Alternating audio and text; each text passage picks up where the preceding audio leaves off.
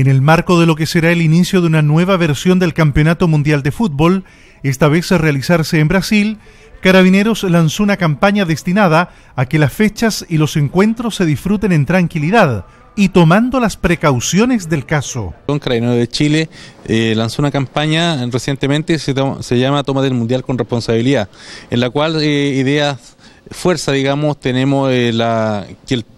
recomendaciones tanto para el pasajero, tanto también para el peatón y eh, y el automovilista sobre todo. Y bueno, las recomendaciones que normalmente se están dando y ustedes ya las saben, ¿cierto? Eh, conducir sin efecto de alcohol, el peatón respetar la, la señalética para poder cruzar y no cruzar a, a cuadra. Y en el caso de los pasajeros, obviamente también algunas recomendaciones que largamente se lo voy a dar posteriormente a ustedes para poder eh, tomar nota y ustedes puedan, puedan difundir a través de sus medios de comunicación. Eh, por lo cual eh, yo creo que siempre son positiva esta, estas recomendaciones es recordarle o hacer conciencia a las personas que se cuiden, porque en el fondo todas estas recomendaciones son con la finalidad de cuidar sus propias vidas.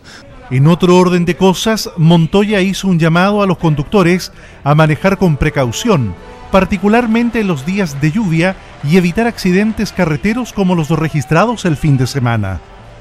Bueno, lamentablemente tenemos que lamentar eh, varios accidentes que hubieron especialmente en la ruta G60, donde todavía no hay conciencia de las personas que cuando llueve la carpeta rodada obviamente se vuelve más resbaladiza y eso ellos no lo, no lo asimilan y se insiste en esto, pero igualmente siguen ocurriendo situaciones, más aún es complicado para nosotros cuando estas resultan con lesiones de carácter eh, grave, inclusive en algunos de esos casos con peligro de muerte. Es por lo cual eh, insistimos en eso, en, que las personas tomen conciencia, eh, hagan una conducción a la defensiva y de esta forma nosotros poder prevenir eh,